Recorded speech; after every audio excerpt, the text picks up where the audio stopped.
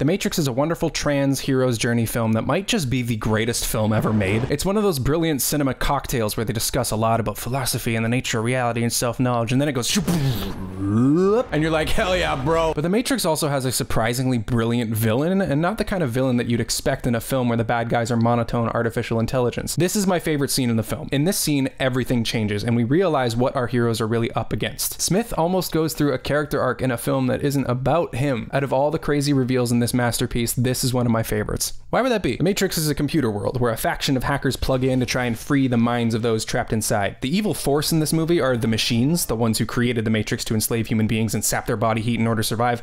But the actual antagonist of the film is Agent Smith, the apparent leader of the programs who are trying to hunt down the resistance, specifically Morpheus. We first meet Smith in the opening scene. He exits a car and looks like a government agent. The police lieutenant certainly treats him like one, but he doesn't say FBI or CIA. He just says, hey, you had specific orders for your protection. Lieutenant goes, I think we're gonna handle one little girl. And then Smith gives a look, a cold stare of fear, no, recognition. He's dealing with a powerful person. Despite being one of the overlords of this world, he knows that Trinity is a powerful force and will completely destroy these cops. Trinity gets away after Smith tries to smash her with a really menacing garbage truck. Like, it looks evil. They find out they're looking for a guy called Neo, so they arrest him. Right from the beginning, these guys look like robots, completely emotionless, cold, efficient movers. You can tell just by looking at them that they're not human. It's great stuff from everyone, not just Hugo Weaving. But they do have their quirks. Smith interrogates Neo and speaks in an odd cadence. One of these lives has a future. He speaks extremely slowly, but emphasizes his words distinctly, kind of like he's speaking to a child. This was originally based on the speaking pattern of the Wachowskis, the directors, but it's a good choice that reflects the domineering personality of machines at war with humanity, but with a personal curiosity that comes up in lines like, Help your landlady carry out her garbage. Despite being a machine, he's clearly an individual, which fleshes this world out in a cool way. The Matrix isn't just the same artificial intelligence, it's actually an entire race of machines and programs, all working together but not the same. Naturally, they have some differences. His disdain for Neo is shown in this line read, which I really like. Whatever you think you know about this man is irrelevant. He pronounces the T in irrelevant, making it just slightly more biting. There's a really cool line here where he says Morpheus is considered to be the most dangerous man alive. And he's not talking about the authorities, he's talking about the machines. Morpheus is trying to free people enslaved by the Matrix, and there's no greater threat to the machines than losing their power source. It's a cool little double entendre. And then comes. My colleagues believe that I'm wasting my time with you. Shortly after removing his glasses, something that none of the other agents ever do. Even early on in this film, Smith is set apart as a unique agent that they're dealing with. We find out why later. The next time we see Smith is 40 minutes later! He's barely in this movie. It's mostly about the main characters, which makes sense. He shows up in a training program to emphasize that anyone in the Matrix could be an agent. Smith, specifically. They scare both Neo and the audience with the agent who has been terrorizing us. Morpheus calls him a sentient program, further emphasizing that he's not just programmed to do what he does, he can think freely for himself. I've always loved this shot of Smith holding a gun to Neo in the reflection of Morpheus's glasses. It's basically screaming at us that Smith is the biggest threat to Neo, and he's always in danger of being caught by him. I guess you could also say it's foreshadowing for the ending. Y you could. It's almost it's almost like that. Smith's next scene is with Cypher, negotiating a deal so the machines can get access to Zion, which is the last human city and my dream home. The thing about this performance is that it's very calculated. It subtly shows emotions that may pass you by if you're not focusing on it. When Smith says, Morpheus. He almost looks excited. There's so much intensity in it that Cypher reacts to it, ashamed of what he's about to do, but also a little unsettled by Smith. Smith then uses this information to catch up on the group, and Morpheus dives onto him to save the others. Smith introduces himself to Morpheus with a kind of satisfaction. Meet at last. He brutally kicks the shit out of Morpheus and performs it really well. He's ferocious. And after beating him, he looks back at him with disgust. Then we are, depending on your personality, subjugated or treated to three monologues from this character. Three layers of how Smith feels and thinks. It's good for the screenplay because in this film, he is the face of the machines. So we're learning more about the opposing force in this war. Morpheus is now in a military building for interrogation. Smith talks about the Matrix. He calls it beautiful and genius. Importantly, though, he says, Have you ever stood and stared at it marveled at it. which implies that he does this sometimes. Maybe in his downtime he sips a coffee and puts on reruns of the Daily Show while staring at a building. But but he can't. Clearly, he's a program. So when does he do this? Does he have downtime? It brings so many thoughts to my head of what kind of person he is to have had this experience and thought in his mind. He's not just doing what he's told. He's thinking about it, thinking for himself. He then gives the first monologue about the history of the Matrix. How it used to be a perfect paradise with unicorns and rainbows and sunshine and cotton candy orgasms, but no one would accept it as reality. They kept waking up. Apparently, there was some debate as to why this was the case, but Smith has his own personal view on why that project failed. I believe that as a species, human beings define their reality through misery and suffering. We then get more of this bitter bullying of humanity. Evolution. Like the dinosaur. You had your time. We are more evolved than you. The second monologue delves even further into Smith's being, as he tells the story of when he once tried to classify the human species. Which, again, hang on. At what point was Smith trying to classify them? Was he explaining something to another AI and realized he didn't have a label for humans that sufficiently fit, and then spent the next 10 minutes trying to figure it out? Why would he do that? The implications of these lines are so interesting. It's what makes it deep and what makes him a good character. We don't need to see all this, we infer it. And then, uh, then we get to the real good shit. Describing humanity as a virus. He speaks to Morpheus, this leader of humanity, this pain in his ass, and just condescends the shit out of him. Human beings are a disease, and we are the cure.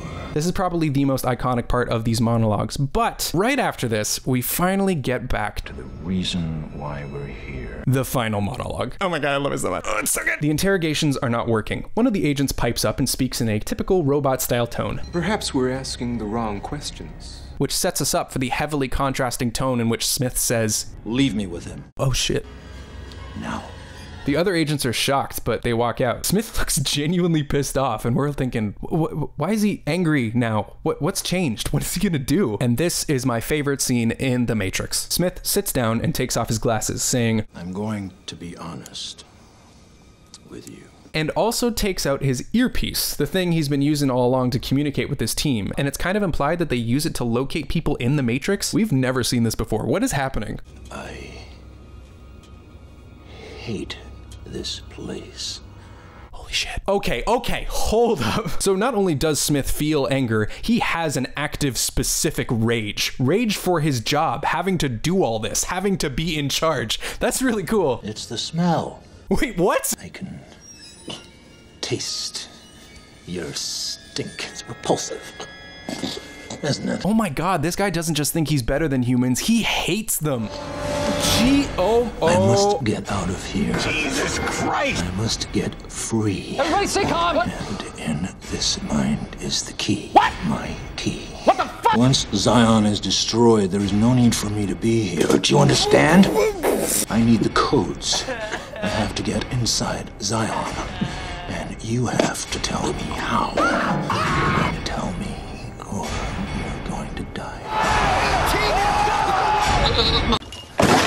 Smith isn't just a robot. He is an angry, vindictive spirit with a deep hatred of humans. He fucking hates his job. This is personal. This informs his entire character from everything that's happened to everything that's going to happen. Every single action that he's made so far hasn't just been about winning this stupid war. He personally wants to be free of his duties, finish his job, get this shit over with, and get out of the Matrix. Morpheus has always been the key to victory, but he doesn't call it our key. He says it's my key. So, who is Smith? Smith is a conscious, thinking, living being. He's as much a human as anyone who's also stuck in their job, stuck in their body, and stuck in the Matrix. The terminology he's using here is the same that the runners use. He wants to be free from the Matrix. The first time I watched this at an age I could understand it, it blew my fucking mind. The machines and humans are one and the same, capable of destruction, anger, spite, and he has superpowers. Fuck. And not only that, he's been holding this in from everyone around him. He doesn't want his colleagues to know that he feels this way. They come back in and they go, What the fuck are you doing? Which leads us to my favorite character trait about him he's lonely. Smith is a lonely, vicious, vindictive incel, and he won't give up trying to hunt everyone down because it's not for the greater good, it's something that he desperately wants. In this scene, all of our perceptions of Smith fall away to reveal a a person. He's a person. The machines having emotions and being a lot like humans is something extremely important in the sequels. But in this movie, it's just a small taste of world building, specifically to make this character as evil and as scary as possible so Neo can rise up and take him down. From this point on, when he's fighting Neo, he's not just trying to keep him from escaping. This is revenge. You stole my key away from me and I'm gonna kill you to death. Dead naming him the whole time. I'm gonna enjoy watching you die.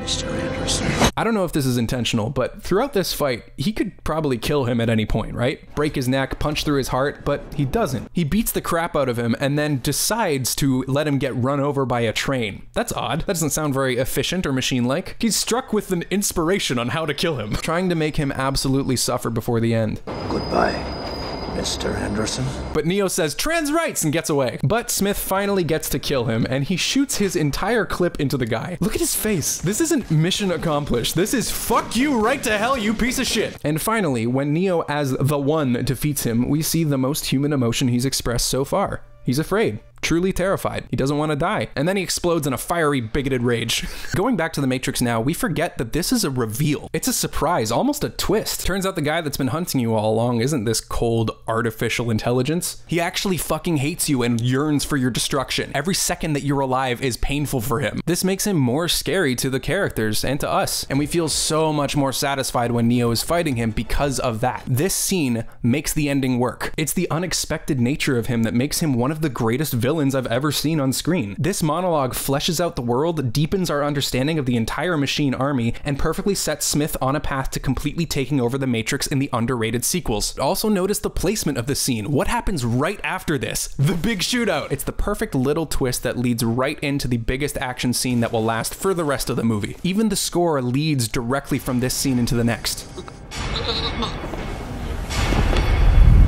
Pacing is everything. And I think that the reason the third act is so memorable is because we got this right before it. See, within this fantastic trans action philosophical spectacle with a hero's journey executed perfectly, there's also a brilliant villain, one that surprises you, reflects the darkest parts of humanity despite being a machine, and has so much hatred you can't wait to see Neo triumphantly annihilate. It's a very key piece of why the ending is so endlessly watchable, and it tees it up to ace the basket and score the run into infinity. Masterpiece. Hi, I'm Ben from Canada, and today a playlist has just come out called One villainous scene where this video is now located. You can add videos to it. It'll be like a whole cool little cute little thing. Subscribe, hit the bell, give me money on Patreon, and uh, love you.